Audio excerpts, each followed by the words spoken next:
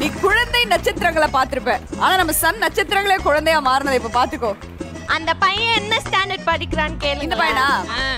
அவன் பையன் என்ன படிக்கிறான்னு ஃபர்ஸ்ட் கேளுங்க. அப்புறம் அவன் என்ன படிக்கிறான்னு கேட்கலாம். ஏய் உன்னை இவன் என் சுப்பிரமணி. டேய் சுப்பிரமணி நல்லா இருக்கியா? டேய் பாருடா நீ படிச்சு வாத்தியாராவே ஆயிட்ட. ஆனா நான் இன்னும் இதே ஸ்கூல்ல ஸ்டூடெண்டாவே இருக்கேன். இது சந்தோஷமா சொல்லக்கூடாதுடா. வெக்கப்பட்டு சொல்லணும். அழகு ப்ராப்பரா ரெடியா வந்திருக்கீங்களே? யார் உங்களை இன்னைக்கு ரெடி பண்ணி விட்டா? உங்க பாருங்க எப்படி இன்கம்ப்ளீட்டா வந்திருக்காங்க ஸ்கூல் எங்களுக்கு நீங்க சீக்கிரமா கூப்பிட்டீங்க. அவங்களுக்கு பெல் அடிச்சதுக்கு அப்புறம் தான் கூப்பிட்டீங்க. போய் சொல்றா.